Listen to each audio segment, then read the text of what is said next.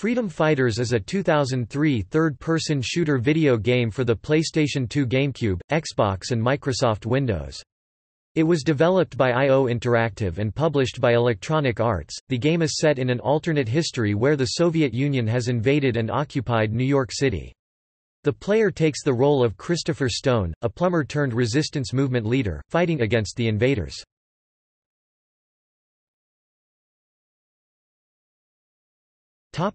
Gameplay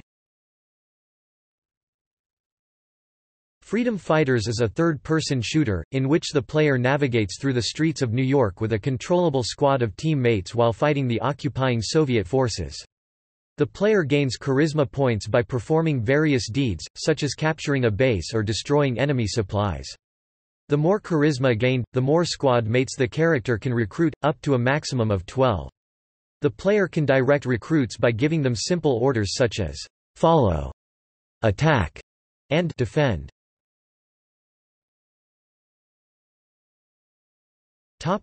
Multiplayer.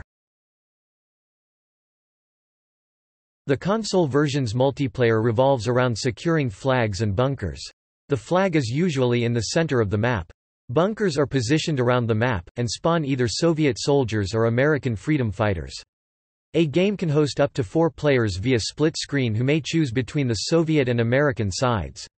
Each side has a different set of weapons which the players can switch during battle. The player's charisma meters are set to 8, so each player can have a maximum of 8 soldiers under their command, however, if it is a four-player battle, each player can control a maximum of 4 soldiers. The PC version does not support multiplayer.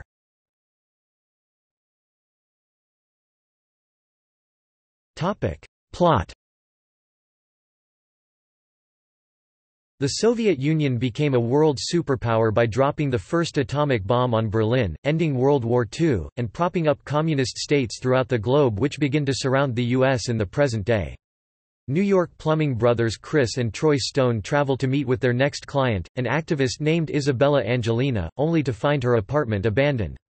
The Soviet Union launches a surprise invasion of New York City and suddenly Soviet soldiers, led by General Tatarin, seize Troy. Amidst the attack, Chris escapes to the streets, encountering a man named Mr. Jones and resistance member Phil Bagston. After rescuing Isabella from a police station and Troy from a post office, the group retreats to the sewers and sets up a base of operations as New York is lost, with the media now being controlled by the Soviet Union. Months later, Chris, Phil, and Isabella sabotage key Soviet facilities and reclaim areas within the city, building up a resistance group of New York citizens and disillusioned Soviet soldiers. Chris becomes known as the Freedom Phantom within the Soviet-controlled media network, SAFN. Troy is captured by Soviet troops and tortured for information. Forced into issuing a public statement aimed at the resistance to cease their actions, he breaks from the prepared text and urges Chris to continue fighting. In response, General Tatarin has Troy taken to Fort Jay and executes him personally. Mr. Jones suggests assassinating Tatarin in retaliation. Chris succeeds, but returns to find Isabella missing and the resistance base occupied by the Soviet army. The operation was orchestrated by Mr. Jones who reveals himself to be KGB agent Colonel Bulba. Chris escapes with Phil and others to a new underground area while SAFN reports on the death of Tatarin, Colonel Bulba's promotion to general, and the end of the resistance in New York. During the winter, Chris leads the resistance deeper into occupied New York, culminating with a major raid on SAFN studios. Chris uses the station to send a broadcast encouraging the city and beyond to rise up and bring an end to the Soviet occupation. A final assault on Governor's Island, consisting of massed resistance forces, is planned. After capturing Fort Jay and rescuing Isabella, New York is liberated for the time being as Chris and the group solemnly celebrate their victory. Chris knows the Soviets will not give up the occupied United States easily, but resolves to fight on as long as is necessary.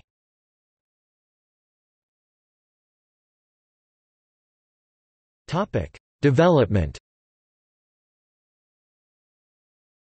In 2002, EA Games officially announced Freedom, the Battle for Liberty Island, which would later be renamed Freedom Fighters, at the Electronic Entertainment Expo. The concept for the game originally involved a turn-based strategic mode as a major element of gameplay. The game was developed by IO Interactive, using the 3D engine Glacier. This engine makes use of the OpenGL and DirectX graphic APIs. Freedom Fighters was released by EA Games in the US on October 1, 2003, a full week after the UK release. An EA spokesperson stated that retailers in the US had requested the delay. The game is one of the few developed by IO Interactive that was not published by Eidos Interactive.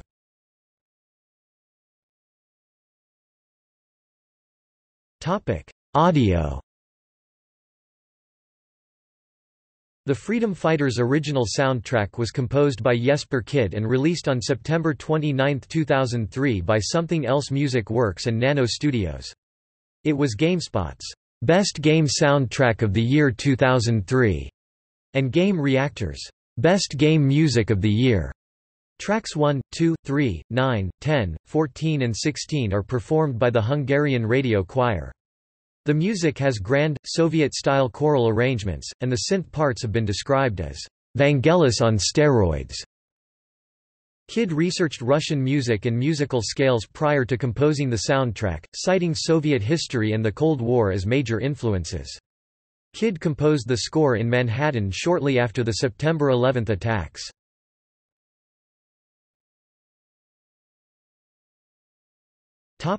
Reception